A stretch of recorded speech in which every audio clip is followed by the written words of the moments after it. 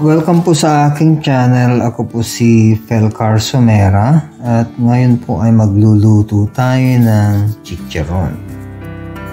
Um, ito po yung skin. Nabilo ko po ito sa Asian store. So,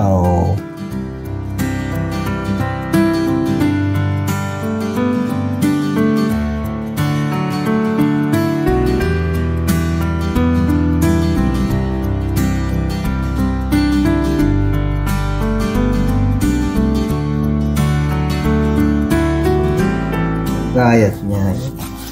Pahaba. Ganyan. Okay lang ho yung ganun kalaki. Kasi matutupi naman pag naprito yan. Ganyan. Bali, ito po ay uh, homemade lang. Yan. Uh, kahit na yung ihihiwa, pwede hong paganyan din. Pwedeng paganyan ang paghiwa. Ayos lang ho yan. Yan. Ganyan. Paghiwa. Yan. Ito po ay uh, one po ito. Uh, skin lang ho. Pero pwede rin ho yung may laman-laman ng konti. Kaya ganun din ho ang procedures niya. Okay? So, hiwain ko muna po lahat at uh, umpisan ho na natin ang magluto. Ayan na po. Ngayon po ay uh, pupugasan natin siya. Make sure lang na malinis. Kasi alam niyo naman ho, homemade ito. Kayo rin ang kakain. Kayo rin ang kakain. Kaya linis-linisan nyo lang ho ng maigi para nawala yung konting masangsang na amoy kung meron man. Ayan po. Ayan po, lalagyan na po natin siya ng asin. Uh, one teaspoon lang po. Yan. Kung ayaw nyo pong lagyan ng asin eh, kahit na wag na. Dahil uh, kung gagawa tayo ng sausawan, eh doon na lang magkakatalo sa sausawan. Kaya pero gusto niyo po, lagyan niyo po ng asin. Ayan. So, yan na muna natin ng mga at least mga 15 minutes, 10 to 15 minutes para masip-sip niya yung ano, yung mamarinate sa asin. Ayan po. Ayan po ay uh, magpapainit na tayo ng mantika muna. Painitin na muna ho yung pan. Pero, ilalagay muna natin ho siya sa low heat. Uh, ibig kong sabihin na low heat, uh, ito pa papakita ko sa yung apoy kasi depende ho po minsan sa apoy. Yan po ang pinaka low heat ng stove ko. Yan.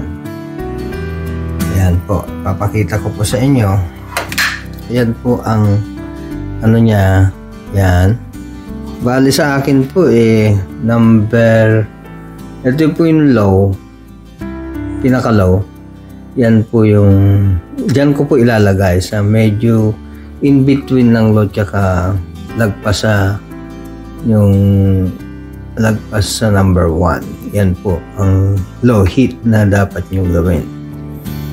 Yan po mainit na siya. Ngayon lalagyan natin ng mantika. Mga uh, 1 cup na mantika. Yan 1 cup muna po. Tapos dadagdagan na lang mamaya pagka uh, uh, linagay natin sa medium heat. Ayan po. Ayan po, uh, nakalipas na yung 10 minutes. Uh, ayan po, ah, nakikita nyo naman. Medyo nag-translucent yung iba pero hindi pa lahat. Parang tumitigas na po yung balat niya.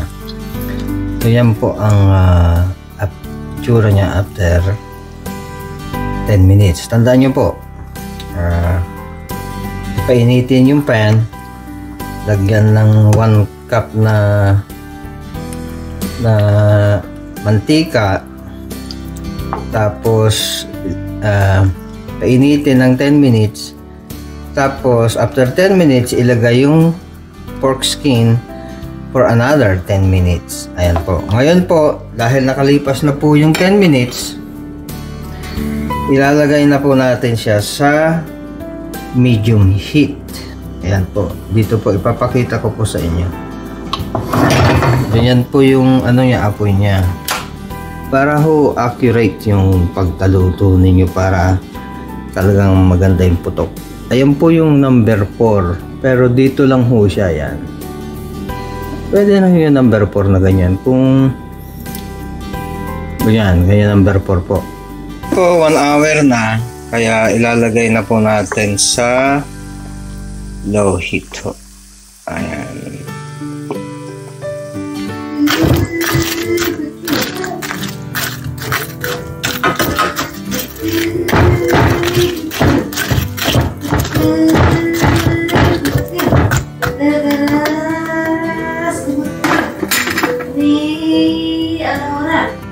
Ayan po, after 1 hour uli, uh, checkin na natin siya kung nag-pellet na siya.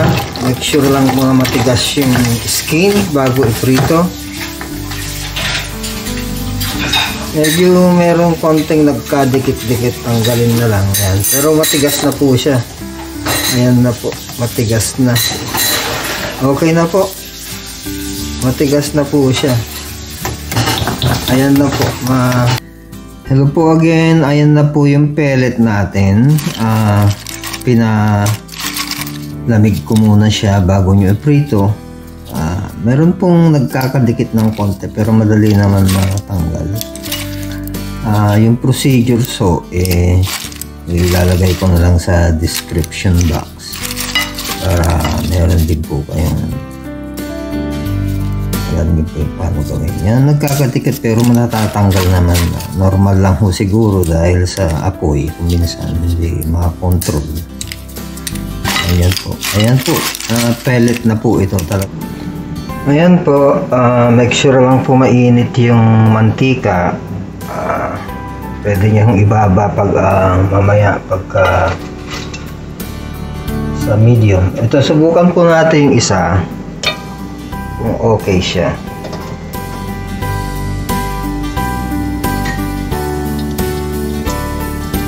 Ayan. Medyo okay po siya. Maganda po yung pagkagawa ng pellet.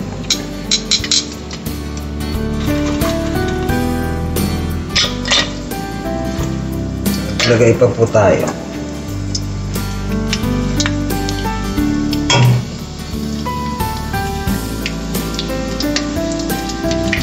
Ayan po, ganyan lang po siya.